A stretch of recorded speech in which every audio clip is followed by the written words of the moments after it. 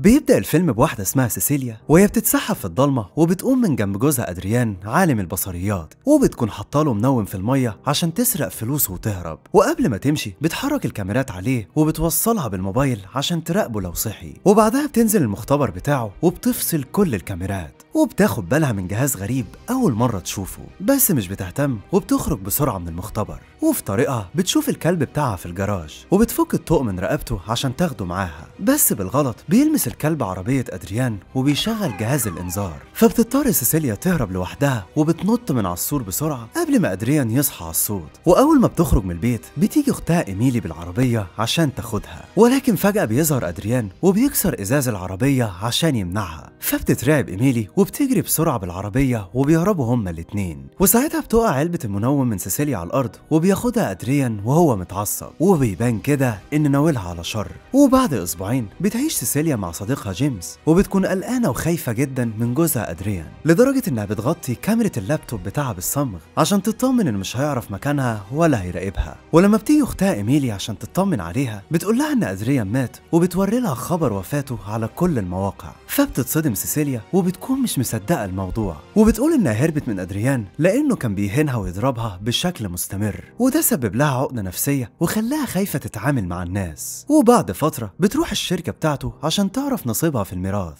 وهناك بيقعد معاها أخوه توم وبيعرفها إن أدريان تنازل عن جزء من الشركة لصالحها وكمان ساب لها 5 مليون دولار هتاخد جزء منهم كل شهر. بس ده في مقابل إنها ما تتورطش في أي جريمة قتل نهائي وإلا مش هتاخد باقي الورث. فبتمضي سيسيليا وبتاخد دفعة من الفلوس وأول ما بترجع البيت بتجيب هدية لسيدني بنت جيمس وبتعرفها إن دفعت لها مصاريف المدرسة اللي كان نفسها تدخلها. وتاني يوم بتحضر سيسيليا الفطار وبتسيب الأكل على النار وبتدخل تصحي سيدني بس بيحصل حاجة غريبة جدا. نار البوتاجاز بتعلى لوحدها والأكل بيتحرق. فبتيجي سيدني وبتطفي النار بسرعة قبل ما تعمل حريقة في الشقة. وبيبان كده إن في حاجة مش طبيعية بتحصل. وبالليل بتقعد سيسيليا لوحدها وبتحس إن في حد موجود في البيت. ولكن لما بتقوم تدور مش بتلاقي حد بس بيظهر من وراها بخار وكأن في حد بيتنفس. وفي آخر اليوم بتدخل تنام جنب سيدني وهي مرعوبة. والغريب إن بتشد الغطا من عليها لوحده. وبيظهر ضوء فلاش متوجه ناحيتها وكأنه فلاش كاميرا فبتصحى سيسيليا بعدها عشان تجيب الغطا من على الأرض.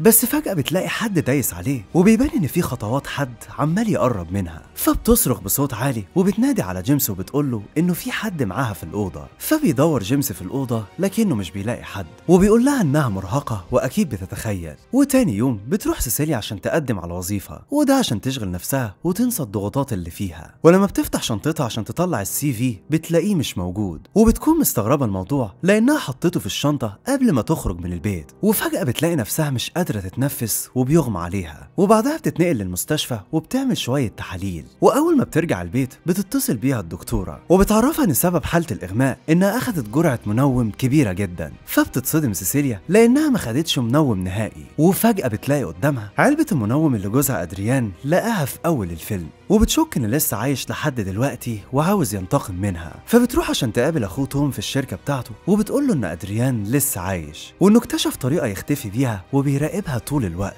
فبيأكد لها توم إنه أدريان مات وبيوريها جثته في المشرحة. فبتقول له سيسيليا إنها مش مصدقة إنه مات وبترجع البيت وهي منهارة وبتفضل تعيط من شدة الخوف. فبتيجي سيدنا عشان تتكلم معاها وتهون عليها شوية. ولكن فجأة بيظهر شيء خفي وبيضربها بالقلم. وبتقول لأبوها جيمس إن سيسيليا هي اللي ضربتها بالقلم. فبتحاول سيسيليا تدافع عن نفسها وبتقول له إنها ما قربتش منها أساسا. بس جيمس ما بيصدقهاش. وبياخد بنته وبيخرجوا من البيت عشان يسيبوها تهدى شوية. وقتها بتمسك سيسيليا سكينة وبتفضل تنادي على أدريان وبتقول له يظهر نفسه. وبعدها بترمي بن على الأرض عشان آثار أقدامه تبان لو قرب ناحيتها. ولما ما بتحسش بوجوده في المكان بتتصل على الموبايل بتاعه وبتتفاجئ إن صوت الموبايل بتاعه جاي من سطح البيت. فبتجيب سلم وبتطلع فوق بسرعة. وساعتها بتلاقي الموبايل بتاعه وبتلاقيه مصورها صور كتير جدا وهي نايمة جنب سيدني وبتلاقي فيه سكينة. وفجأة بتسمع صوت حد طالع على السلم فبترمي علبة دهان وبيظهر قدامها جزء من جسم أدريان فبتترعب منه وبتستخبى بسرعة. وبعدها بتنزل من السطح وبتمشي ورا آثار رجليه لحد ما بتلاقيه داخل المطبخ وغسل نفسه من الدهان عشان يختفي مرة تانية. وفجأة بيهجم عليها وبيضربها وبيرميها على الأرض فبتضربه سيسيليا بالطاسة وبتطلع تجري. وأول ما بتخرج من البيت بتلاقي واحد جارها ماشي بعربية فبتركب معاه وبتخليه يوصلها لبيت أدريان. ولما بتوصل بتدخل المختبر بتاعه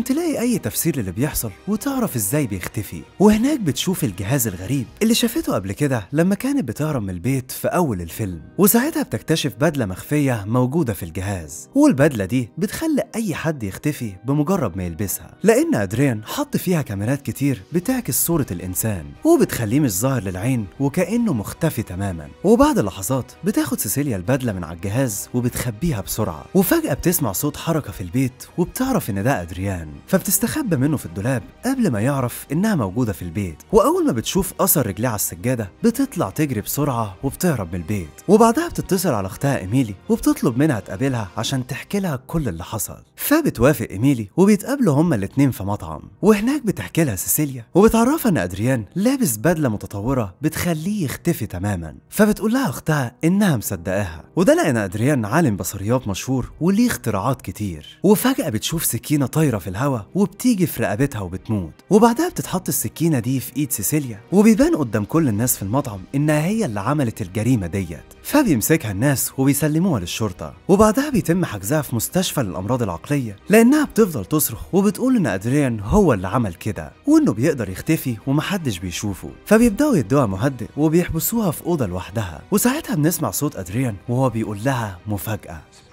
ولما بتفوق بتعرفها الممرضة إنهم عملوا لها تحاليل واكتشفوا كمان إنها حامل في الشهر التاني فبتتصدم سيسيليا لأنها كانت بتاخد حبوب منع الحمل طول الفترة اللي فاتت وده لأنها ما كانتش عاوزة تخلف من أدريان. وفي وقت الزيارة بيجي توم يتكلم معاها وبيطلب منها تمضي على التنازل للورث. لأنها تتحرم منه عشان كسرت شرط الوصية وارتكبت جريمة. وبيقول لها إنه عنده حل هيخلصها من الورطة اللي هي فيها ويخرجها من السجن. والحل ده إنها ترجع تعيش مع أدريان لأن عاوز الطفل اللي في بطنها. والمفاجأة إنه أدريان كان عارف إنها بتاخد حبوب منع الحمل. عشان كده بدلها بحبوب مهدئة لأنه كان نفسه في طفل. فبتتعصب سيسيليا وبترمي الورق على الأرض وبتقوله إنها مستحيل ترجع لأدريان وهتنتقم منه على كل اللي عمله. وأول ما بينزل توم عشان يلم الورق من على الأرض بتسرق من شنطته قلم وبيبان كده إنها بتخطط لحاجة. فبتدخل الزنزانة بتاعتها وبتكون عاوزة تقطع شرايينها بالقلم. وده عشان تضمن إن أدريان مش هياخد الطفل اللي في بطنها. بس فجأة بيمسكها أدريان وهو مختفي وبيحاول يمنعها. وساعتها بتقول له سيسيليا إنها كانت متأكدة إنه موجود معاها في الأوضة. فبتطعنه بالقلم في صدره. عشان كده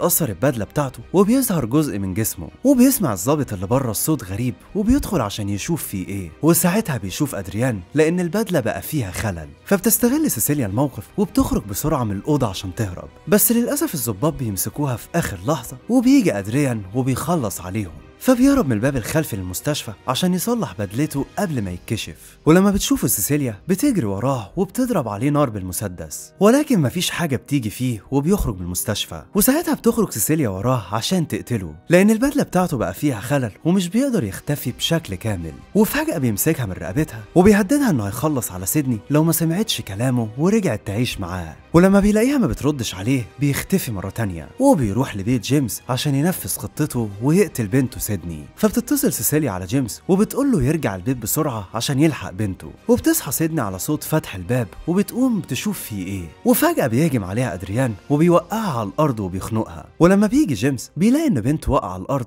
ومش قادرة تتنفس. فبيحاول ينقذها ولكن أدريان بيفضل يضرب فيه لحد ما بيفقده الوعي. وساعتها بتوصل سيسيليا في الوقت المناسب وبترش عليه بطفاية الحريق عشان يظهر قدامها. وأخيرا بتضرب عليه نار وبيموت في الآخر. فبتروح عشان تشيل قناع بدلة الإخفاء وبتتفاجئ إن كل ده يبقى توم مش أدريان. وبعدها بتوصل الشرطة لبيت أدريان وبيفتشوا في المكان والمفاجأة إنه بيلاقوه مضروب ومتكتف في القبو وبيقول لهم إن أخوه توم زي في موته وعمل كل ده عشان يورثه وياخد فلوسه. ولما بتروح سيسيليا لمركز الشرطة بيقول لها جيمس إنه مفيش أي دليل يدين أدريان وإن كل الجرائم دي اتثبتت على توم. فبتقول له إنها مش مقتنعة بأي حاجة من اللي حصلت ومتأكدة إن كل ده كان من تخطيط أدريان وإنه أكبر توم أخوه. أخوه يعمل كده وحبس نفسه في القبو وده عشان يخرج نفسه من كل الجرايم ديت. ولما بترجع البيت بتتصل بأدريان وبتقوله إنها عاوزة تقابله وبيبان كده إنها بتخطط لحاجة. فبيوافق أدريان وبيعزمها على العشاء عنده في البيت وبيكون في كاميرا سرية متوجهة ناحيته. وبتحاول سيسيليا توقعه بالكلام وبتقوله إنها مستعدة ترجع له بس بشرط واحد إنه يعترف بكل الجرايم اللي عملها. فبينكر أدريان كل الكلام ده وبيقول لها ان توم هو اللي عمل كده وإنه عاوز يعيش معاها ويربي ابنهم اللي في بطنها. فبتبتسم سيسيليا وبتقول له إنها عاوزة تدخل الحمام. وبنكتشف إن جيمس مستني بره وسامع كل حاجة لأن هو اللي حاطط الكاميرا السرية في بيت أدريان عشان يراقبه وعشان يتأكد إذا كان هو اللي عمل فعلا الجرايم دي ولا أخوه توم. وفجأة أدريان بيمسك سكينة وبيقتل نفسه. وساعتها بتطلع سيسيليا تطمن عليه وبتبلغ الشرطة وبتقول لهم إن جوزها مات. وبتكون كاميرات المراقبة سجلت كل اللي بيحصل وسجلت كمان إن هو اللي انتحر وعمل كده في نفسه. بس في الحقيقة بقى بتكون سيسيليا هي اللي قتلته وكانت لابسة بدلة الإخفاء اللي خبتها في دولاب المختبر بتاعه لما كانت بتفتش وراه. وطبعا عملت كده عشان تنتقم لأختها إيميلي. وأول ما بتخرج من البيت بيقول لها جيمس إنه عارف كل حاجة وإنه مش هيبلغ عنها الشرطة لأن أدريان يستاهل كل اللي حصل له وبيخلص الفيلم. أنا عارف إن أكيد الفيديو عجبك فيا ريت بقى ما تنساناش بال like وال subscribe. والأهم كمان إنك تفعل الجرس عشان يوصلك ملخصاتنا أول ما تنزل. ونلقاكم على خير في ملخص قادم إن شاء الله. مع السلامة.